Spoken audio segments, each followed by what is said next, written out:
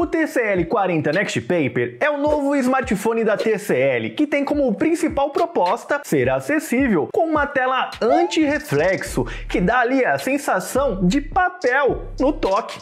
É isso mesmo. E isso tudo para que você tenha mais conforto nas suas leituras, sendo essa uma das propostas principais desse aparelho. Eu estou testando ele algumas semanas e hoje venho trazer todos os detalhes nesse review aqui. O meu nome é Rafael e seja muito bem-vindo ao canal Envolto Tech.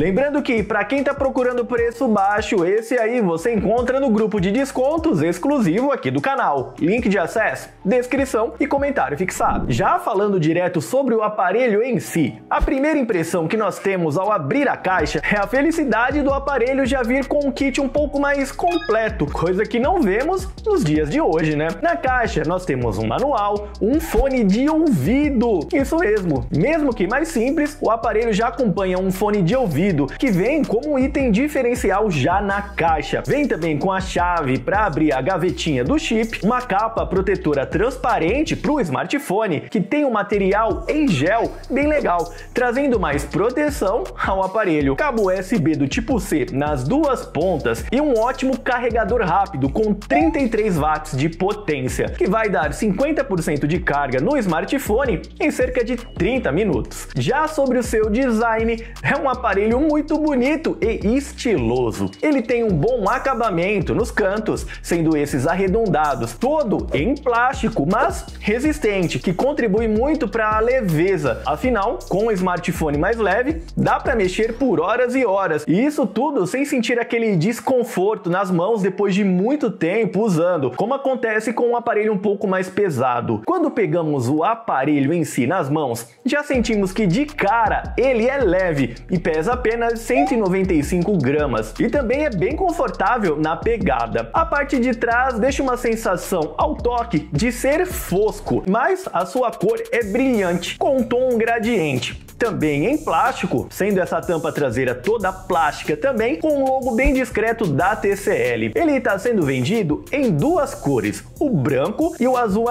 Eu recebi esse modelo azul, que é inclusive bem bonito e bem estiloso. O interessante sobre esse aparelho aqui é que ele praticamente elimina as marcas de dedo, e isso daí é muito bom. Mas ao tocar na tela é que você nota a diferença, pois é aqui que o aparelho brilha. A marca trouxe a tecnologia Next Paper em seu display para que você possa usar o seu smartphone para leituras também. O seu touch é muito gostoso de usar, pois ele possui uma textura anti-marcas com acabamento fosco e existe uma película que já vem de fábrica para ajudar nessa sensação de tocar um papel. Todo o aplicativo utilizado aqui nessa tela se torna bem mais confortável, seja no toque ou aos seus olhos. Ainda sobre a tela. Algo que deve ser interessante é a caneta, que é vendida separadamente, que deve ser muito boa para desenhar ou escrever, já que a proposta principal do smartphone é ter essa tela que simula um papel. E realmente, a tela dele no toque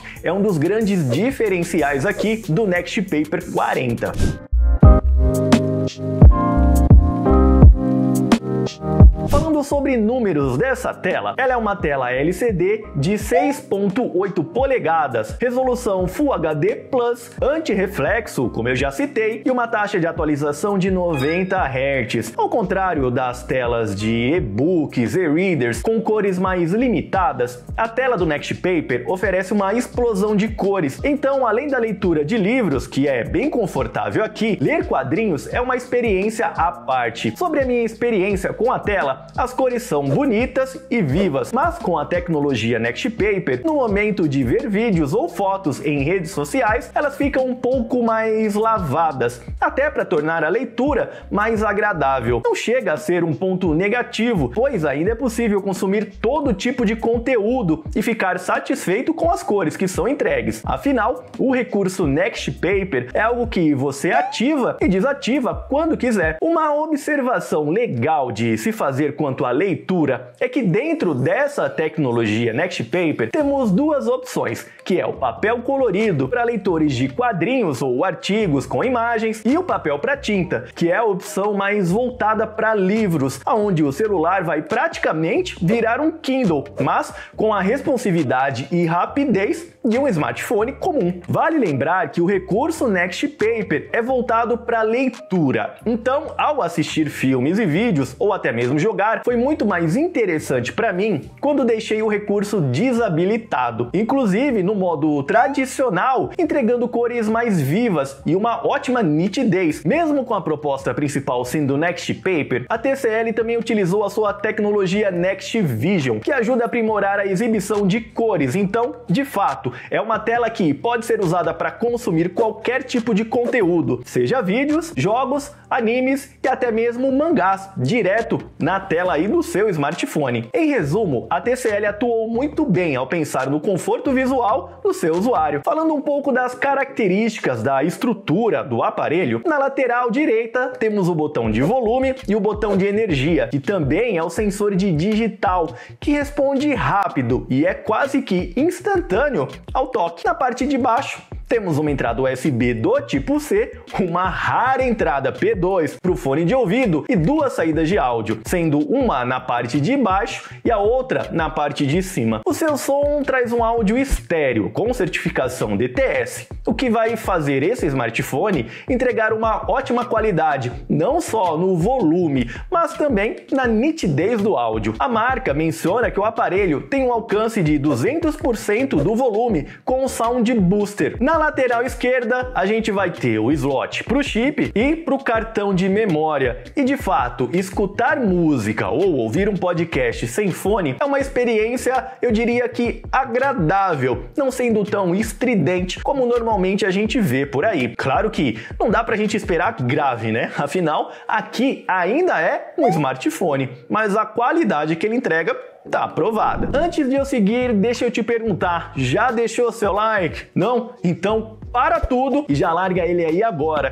É só tocar no botão do joinha, bem rápido. Assim você me ajuda a cada vez mais trazer conteúdos desse tipo aqui pro canal. Se tá chegando aqui agora, é a primeira vez ou ainda não tá inscrito, já se inscreve também. Com isso, você não perde nenhum conteúdo aqui do Envoltotech. E claro, aproveita e me siga nas redes sociais que eu tô deixando aí embaixo, ó. E para quem tá gostando do aparelho até agora, na descrição eu também tô deixando o link para compra dele, tá? E comprando por lá, você também me ajuda. Agora sim, bora continuar aqui com esse review.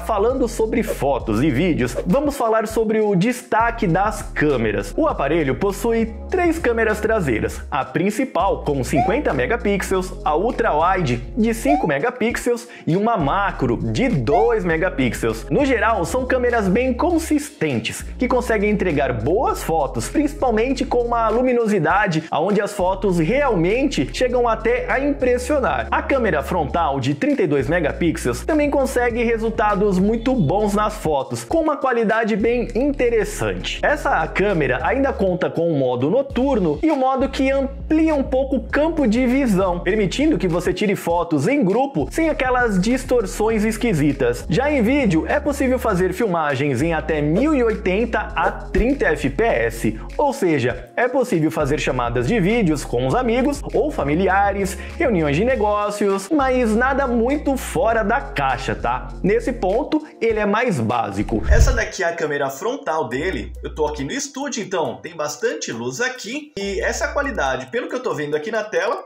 tá ok pela proposta do aparelho, né? Então tá bem interessante. Algo aqui que vale notar é que eu vou fazer um teste com a câmera traseira também. Porém, não dá pra gente estar gravando e fazer alteração. Então tem que parar para aí sim alterar e começar a gravar de novo. É. Aqui continuo no estúdio, então gravando mais um take aqui. Aqui bastante luz, né? Esse é o resultado que a gente vai ter. Lembrando que aqui o máximo é 1080, tá? Não dá para fazer mais que isso. Áudio, não sei como tá. Vou ver aí na pós, na hora da edição. O que, que vocês acharam? Comenta aí. O smartphone entrega câmeras, eu diria ali acima da média, se a gente levar em consideração o valor dele, tá? Óbvio que aqui você não vai comprar um smartphone dessa categoria e esperar um resultado topo de linha, mas pelo valor que ele custa, eu diria que o resultado sim agrada e em alguns momentos fica até acima da média. O TCL 40 Next Paper possui duas versões, o 4G e o 5G. Eu recebi o 4G, que vem com o chip de processamento MediaTek G88. E falando um pouco sobre esse chipset da MediaTek, o Helio G88 é um processador octa-core que conta com uma GPU Mali G52. E a nível de comparação, a gente pode dizer que ele é equivalente ao Snapdragon 665, com pontos positivos e negativos na comparação. No Geekbench 6, o MediaTek recebe 428 pontos no single core e no multicore 1356. No AnTuTu, ele já faz uma pontuação de quase 271 mil pontos, enquanto o Snapdragon no Geekbench 6 marca 338 no single core e 1170 no multicore. Já no AnTuTu, um pouco mais de 237 mil pontos. O aparelho possui também 8 GB de memória RAM, mais 8 GB naquele modo RAM Plus, em que ele pega emprestado parte da memória interna para usar como memória RAM, o que ajuda também nessa questão do preço. Afinal, aqui não é necessário usar exatamente uma memória RAM, e sim utilizar esse recurso de software para impulsionar ainda mais esses 8 GB de RAM reais. E falando em espaço interno, ele conta com 256 GB de armazenamento, o que hoje, na atualidade, está se tornando meio que um padrão. Afinal, raramente a gente encontra algo de 128 GB, né? Sendo esse espaço, para mim, um ótimo espaço para armazenamento hoje em dia das suas fotos, vídeos e por aí vai. Mas para quem ainda consumir mais conteúdo e gostar de levar os seus vídeos aí no smartphone, ele também tem o acesso ao cartão micro SD, aqui de até 2 terabytes, o que torna a questão de espaço quase que infinita, né? Ele vem de fábrica com o Android 13, que não é a versão mais atual do Android, afinal, a gente já tem aí o Android 14. Até o momento, não chegou nenhuma atualização para essa versão mais atual. Porém, como ainda é um lançamento recente, afinal, chegou agora no fim do ano, eu acredito que sim, a TCL deva aqui colocar pelo menos o Android 14 logo mais com uma atualização. E ainda sobre as tecnologias, aqui no caso sem fio, ele vai trazer o Bluetooth, que é o 5.1 aqui nesse smartphone, o que é ótimo, pois é uma tecnologia Bluetooth das mais atuais. Não a mais atual de todas, porém as mais atuais, o que já garante um menor consumo de energia do aparelho, além de gerar menos delay quando você conecta esse aparelho a um controle para jogar e principalmente no áudio para ver algum filme ou algo do tipo. Ah, e ele também conta com NFC, aquele recurso ótimo para quem não curte ficar andando com um cartão de crédito. Afinal, você consegue cadastrar o seu cartão virtual nele e para pagamento em restaurante ou em qualquer outro lugar, é só aproximar o aparelho e pronto, tá pago, sem ficar procurando o cartão de crédito para fazer esses pagamentos.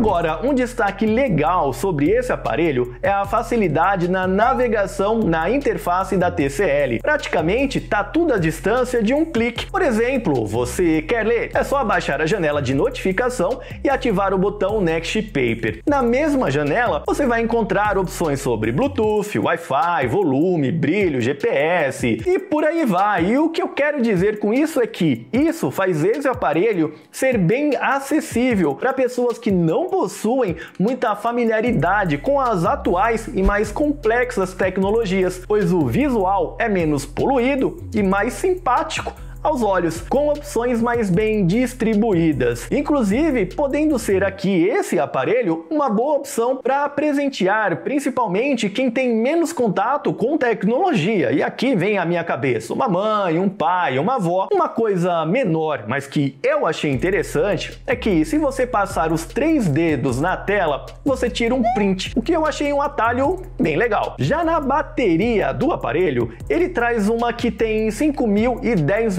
mAh, que para alguns pode parecer pouco, mas na minha experiência, usei ele para editar fotos, ver vídeos, tanto em streaming quanto no YouTube ou Twitch. Usei por períodos extensos para conseguir analisar o quanto ele aguentaria. E olha, demorei quase um dia e meio para precisar carregá-lo novamente. Depois, testei com jogos e aí pude perceber que os jogos consumiam naturalmente muito mais bateria do que as demais atividades, já que em um pouco menos de um dia já foi necessário uma nova carga. Lembrando que com o carregador de 33 watts que já está incluído na caixa, dar carga completa no aparelho demorava menos de uma hora. E já que eu falei em jogos, a minha experiência ao rodar jogos nele me surpreendeu surpreendeu.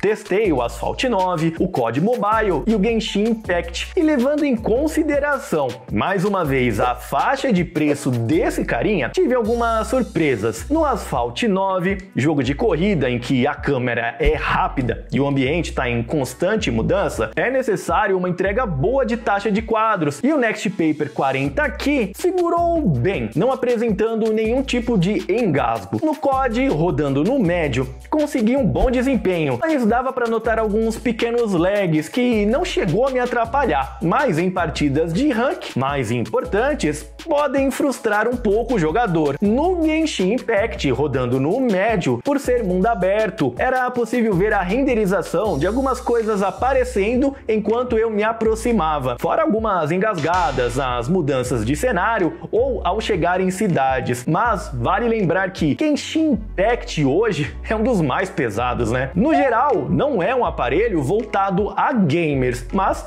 se for o caso, vai conseguir sim ter uma boa experiência, mas não passa disso, tá? No máximo, uma boa experiência.